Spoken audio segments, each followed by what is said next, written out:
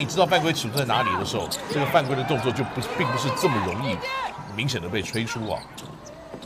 哇，这球再要回来，结果呢是率先由富邦来投进第一个 field goal，四秒的进攻时间。哇，这这球吃瘪了，前面没有人，非常轻松拿下两分。当时跳投倒地这一招啊，应该也是在韩国所学到的，因为你看到国内很少有球员啊，会投篮以后自己自动倒。前面变成了三打一，选择自己来打，拿下分数。富邦追到了五十二，打篮筐受到一些障碍，是。那当然在防守面呢，也没有办法第一时间真的抓得到对方啊。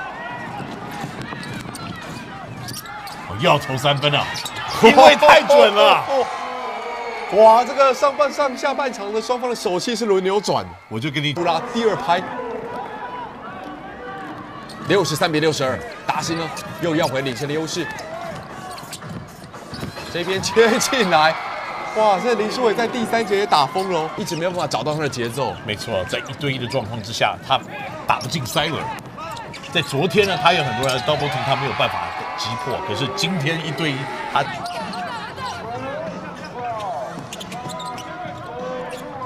哇。这个防守粘得非常近，哦，带进来之后高抛，哇，弹两下有了。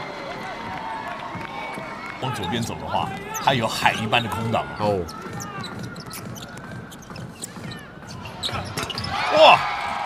可是在这个一开局啊，差不多三十八分钟左右，三十九分钟左右。哇哦！那林书伟今天打了三十七分钟啊，所以的确在最重要的一场比赛啊。